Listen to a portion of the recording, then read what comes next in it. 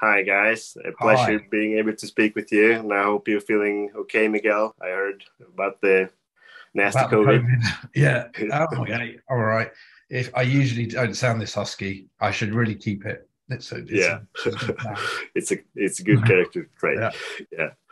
Uh, so I, I, spent the summer reading uh, the books, um, and I got to watch the first episode yesterday, and really happy with what I've seen so far.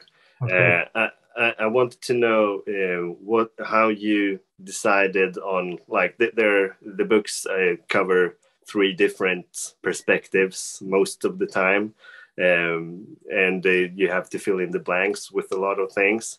Um, how was that? work for you to decide on where you wanted to go and what did uh, george think about your choices i mean in that way it's i think that's what makes it incredibly challenging adaptation um, but also yeah. i think very creative creatively rewarding one because uh, because of the way the book was written uh, as a fill in the blanks. Yeah fake history exactly. You're paint, painting in the lines i think you know george gives you the the the dots around the picture so you can you can see the the skeleton of the whole thing.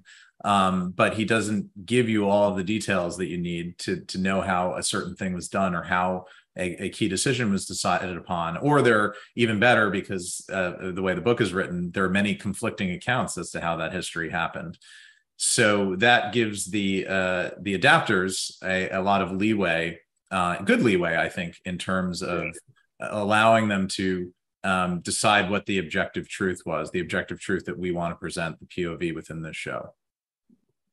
Yeah.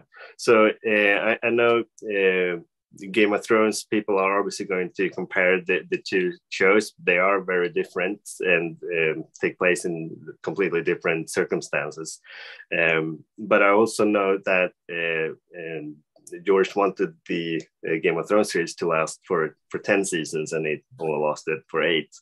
Um, did he have a number in mind for this show, and are you going to try to honor that? Do do you feel like you have the same kind of vision this time around, season wise? Um, I, I think that the the the uh, every story has a particular kind of length, and you can feel when you're coming to the end of it. Um, there this is a story which very much feels like a three act structure um, so you can interpret what you will from that um, yeah. uh, and uh, really we just need to stay true to the story that's the most important thing um, uh, uh it is it's the titanic right? You know you know what's going to happen. It's just are you going to have fun watching how it happens? So i think that the main thing was trying to uh, make sure that we're honoring the books and at the same time we are uh, um, uh, allowing for the evolution of it as it is turned into a television show, which is obviously a visual medium, uh, not a literary one. Yeah. And Miguel, you, you uh, directed some of the most exquisite Game of Thrones episodes, and, and you directed this the first one of, of this show, and and I know there's two more coming.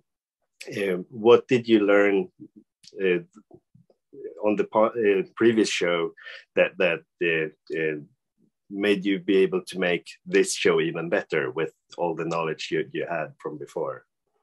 Um, hmm. Don't fuck it up. or, don't uh, don't spend uh, like uh, a year in uh, in night shoots either. Maybe. No, no, don't do that. Definitely don't do that. We avoided night shoots. We really made a concerted decision that there were going to be a minimal amount of night shoots on this particular one. Um, I, I I promised Miguel this was this show was interior day. That yeah. was that was how I convinced him to come along. Yeah. Um, I think that I think the big thing is uh, that um, there's a lot to bring across from the original show into this one, but really is not to get too caught up in the old show and just to kind of enjoy this one for what it is. And we've been very careful to um, remain respectful of the old show. And in that, I think naturally it evolves into something else. Um, and that that's in practices as well. That's just like the way you make the show. We approached it from a similar vein. Um, and uh, and and I think it I think it shows in the you know you've you've seen the pilot right? I think in the Yeah, pilot yeah. feels like Game of Thrones. Um, yeah, it, it, it does in a way. Yeah, it's just different. It's like this, but just yeah. Oh, excuse me. Yeah. No worries. Um, Uh, so we're, we're that that's uh, kind of the buzzer because we're actually out of time. Uh, but I, I really hope we, we do get to speak again in a, a few years now uh, with following seasons. Uh, so best of luck with the premiere, and I hope everyone loves it.